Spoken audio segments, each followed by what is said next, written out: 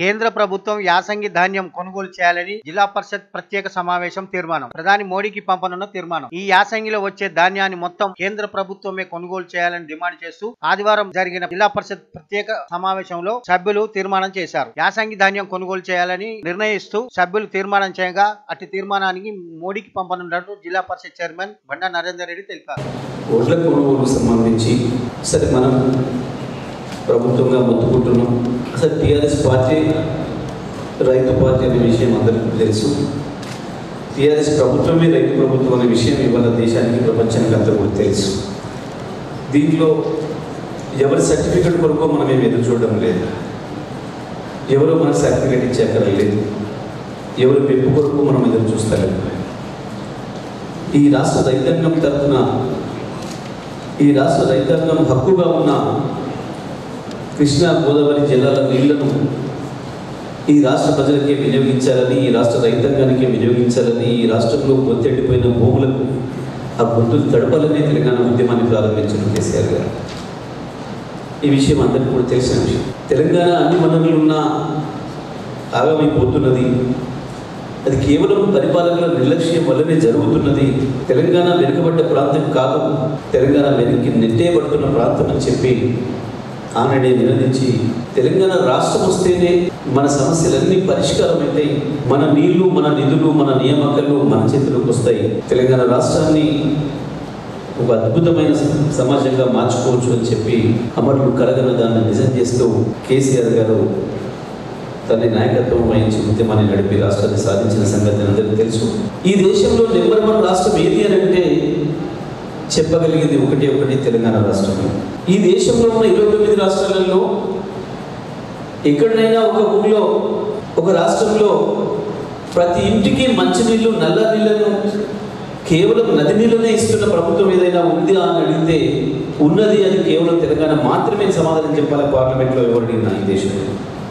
యాసంగి పంట మొత్తం కూడా కేంద్ర ప్రభుత్వం కొనాలన్న లక్ష్యంతో రాష్ట్ర ప్రభుత్వం కేంద్ర ప్రభుత్వంతో చర్చలు జరిపినప్పటికీ కూడా వాళ్ళు కొనమని చెప్పి మొండిగా ప్రయత్నం చేస్తున్నారు దాని నిరసనగా తెలంగాణ రాష్ట్ర వ్యాప్తంగా అన్ని గ్రామ పంచాయతీలు అన్ని మండల ప్రజా పరిషత్లు అన్ని జిల్లా ప్రజా పరిషత్ల నుంచి సభ్యులందరం కూడా ఏకగ్రీవంగా తీర్మానం చేసి ఈ ఓట్లు కొనాలన్నటువంటి డిమాండ్తో తీర్మానం చేసి పంపించాలని నిర్ణయం తీసుకోవడం జరిగింది.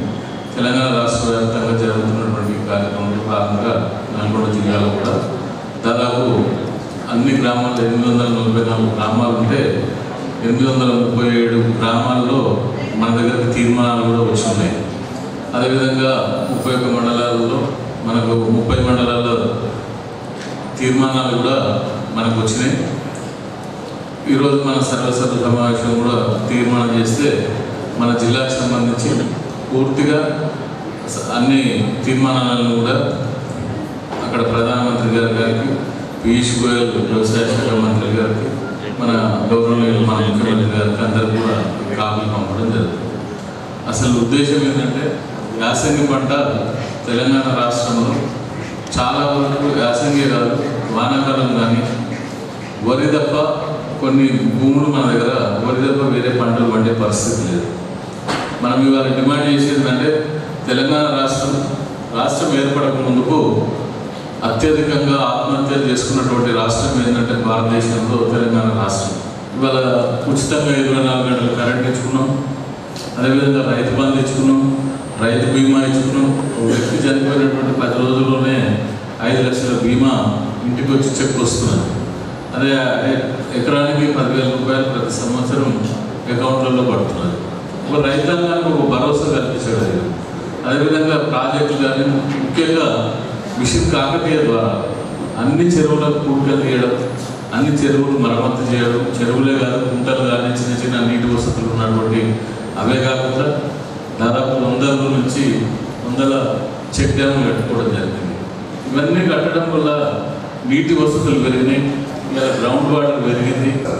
మరి ఉంటే మనం ఇప్పుడు వరకు ఎందుకు ఇవ్వలేదు అన్నాము? ఇస్తారు ఇవ్వండి. చేస్తాం. ఒక క్లస్టర్ అంటే ఏముంది అంటే ఒక మండలంలో మూడు నాలుగు క్లస్టర్స్ ఉన్నాయి. ఒక క్లస్టర్లో నాలుగు ఐదు ఆరు సిటీస్ ఉన్నాయి. రెవెన్యూ విలేజెస్ ఉన్నాయి. ఇప్పుడు క్లస్టర్ వారిగా మొత్తం డేటా ఇస్తే మనకు కన్ఫ్యూజ్ అవుతాం. ఎలయ ఎలయ వంద మంది ఉంటారు. మరి ఏ ఎలయ ఏ ఊరు ఉన్నారో ఎవరికి తెలియదు.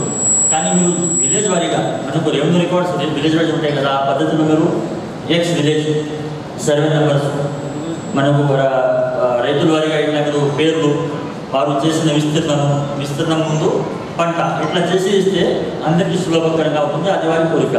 ఈ కార్యక్రమంలో మంత్రి జగదీష్ రెడ్డితో పాటు ఎంపీ బడుగులు లింగయ్య యాదవ్ శాసన మండలి సభ్యులు గౌరవ్ కోటిరెడ్డి మిర్యాలగూడ నల్గొండ నకరకల్ ఎమ్మెల్యేలు జడ్పీటీసీలు ఎంపీపీలు జిల్లా collector ZP CEO deputy CEO తదితరులు పాల్గొన్నారు.